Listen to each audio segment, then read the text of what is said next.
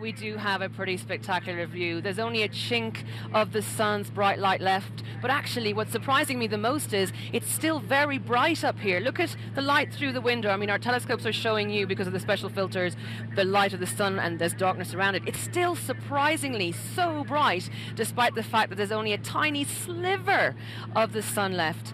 And I can tell you, it is the most wonderful thing to experience up here.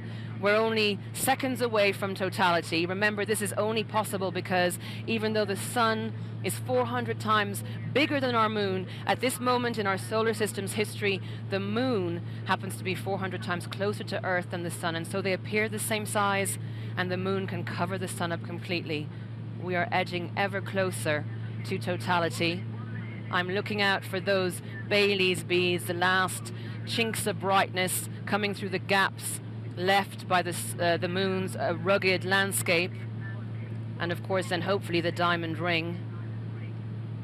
There's no other planet in our solar system that experiences an eclipse like this one.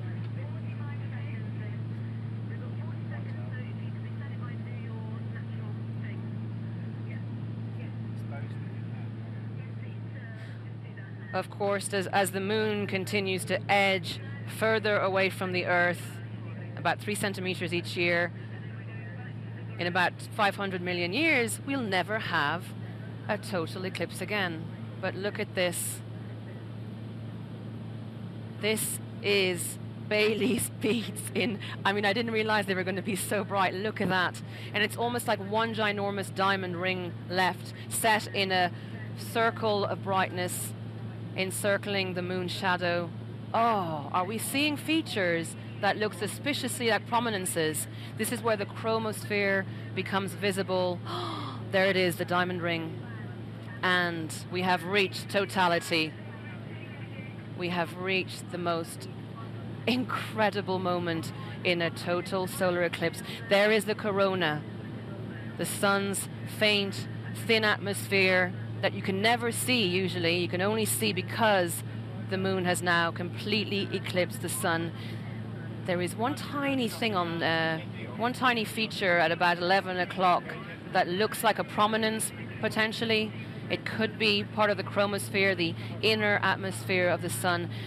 This is extraordinary.